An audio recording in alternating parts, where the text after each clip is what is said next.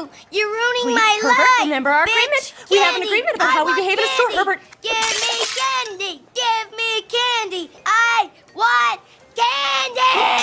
I want candy marshmallows. Give it to me. Give it to me. And I want I hope there aren't a lot of rules to explain. Stop! marshmallows. What was the bell? You, you must have.